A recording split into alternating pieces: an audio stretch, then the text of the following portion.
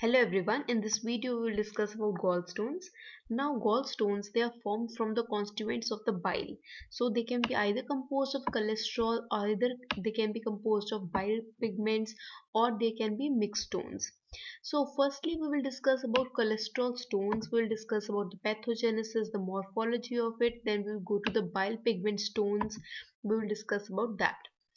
Now going to the cholesterol stones. Now normally the cholesterol is rendered soluble in the bile, with the help of bile salts. And whenever there is cholesterol is, is increased in the bile. When the cholesterol concentration it is exceeding the quantity of the bile salts. That means it exceeds the solubilizing capacity of the bile that means the bile is super saturated with cholesterol. Now whenever super saturation takes place there is crystallization.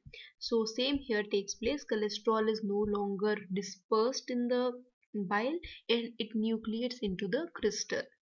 Now going to the pathogenesis bit in detail. Firstly we can uh, we already understood that the cholesterol is uh, being soluble with the help of bile salts and lecithin this uh, both they help to form mixed micelles and this mixed micelles they are soluble in bile. However, when there is supersaturation due to increase in the cholesterol, there is formation of multilaminar vesicles and when this is combined with gallbladder hypomotility whenever there is gallbladder stasis this will promote the formation of uh, cholesterol stones. Now the gallbladder hypomotility can be due to various reasons but what it does is it leads to stasis of the bile in the gallbladder and there is no passage of biliary sludge into the intestine. And this will promote the formation of cholesterol stones which are cholesterol monohydrate crystals and they accrete to form the cholesterol stone. Now the promoters for formation of cholesterol stone they are firstly gallbladder stasis and secondly there is a very important mucus hypersecretion which will trap the crystals and form the stones. So this was about the pathogenesis going to the morphology of the cholesterol stones they are yellow in color and they are round to ovoid in shape. They have a hard external surface and on cutting there is a glistening cut section. This is about the morphology of the cholesterol stone. Going to diagnosis part. Now diagnosis part Firstly, if we go for radiographic examination, these are radiolucent. That means we will not find any shadow on X-ray because these are do not have any calcium in that. Uh, this is about the pure cholesterol stone. However, uh, when there is mixture of calcium carbonate along with the cholesterol stone, this will be radio opaque in the X-ray but mainly if there is pure cholesterol stone that will be radiolucent. So for diagnosing it we should go for ultrasound abdomen where there is shadow eh, we can find there is a shadow present not for the x-ray. Now going to the risk factor of the gallstones. Firstly we'll discuss the risk factor of cholesterol stones then we'll go to the risk factor of the pigment stones. So risk factor of the cholesterol stones Firstly, in demographically, these are common in the Western population, advancing age, and very important uh, uh, risk factor is the female sex hormone. So, estrogen is specially linked to formation of cholesterol gallstones. Moreover, uh, we should remember that females they are more prone for the gallstone than the males firstly the female gender then oral contraceptive pills because they create a hyperestrogenic state in the body then pregnancy uh, then obesity. Obesity as you know there will be increase in cholesterol in the body. This is automatically linked. There is rapid weight reduction. If there is rapid weight reduction this leads to change in the composition of bile and there is increase in formation of cholesterol gallstones. Other things like gallbladder stasis hyperlipidemia syndrome they are also associated with the cholesterol stone. Going to the pigment stone risk factors. Now they are altogether different Firstly, demographically, we should remember that Asians are more prone.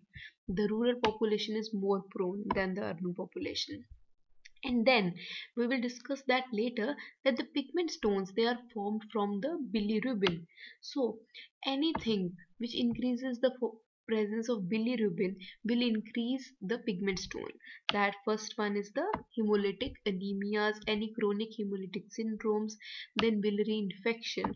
So let's discuss firstly the pigment stones.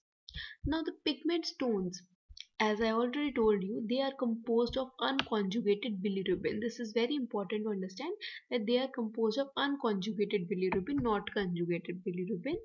And this along with the inorganic calcium salt, they form the pigment stone. Now, the disorders which are associated along with the uh, increase in the unconjugated bilirubin they are hemolytic syndromes then there is severe ileal dysfunction and a very important is bacterial contamination of the biliary tree. Now bacterial contamination of the biliary tree this will lead to formation of something known as brown pigment stone. However if there is only hemolytic syndrome this they will found, find uh, form black pigment stone. So bacterial contamination uh, with Clonorchis ascaris they lead to formation of pigment stones. Now we can um, classify the pigment stone into black and brown. As we already discussed there are black pigment stone and brown pigment stone. And the black pigment stone they are found in the sterile gallbladder uh, however the brown one they are found in the infected gallbladder Going to the morphology of the pigment stones, the big black pigment stones they are very small in size. They are rarely greater than 1.5 centimeter in diameter and they are present in very great number.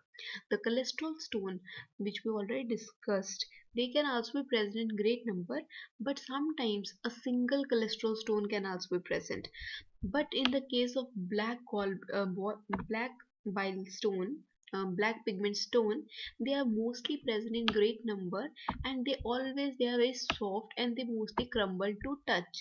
And the contours the sides they spiculated they molded they are mostly soft. However the brown uh, the stones they are slightly different. They are tend to laminated they are soft and they have uh, there is a greasy consistency to the brown pigment stones.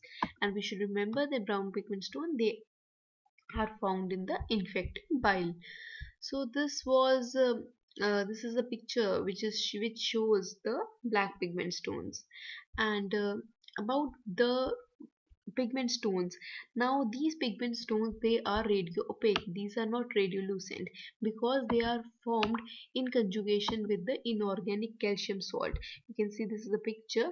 Now this these rays are radio opaque and they can be seen on x-ray uh, this was about all about the gallstones. I'm not discussing the clinical fe features, the complications of the uh, gallbladder stones. Uh, I can discuss the cholecystitis in the next video if you like. Um, do comment, do like, share, and subscribe to this channel if you like these type of videos. Thank you for watching it.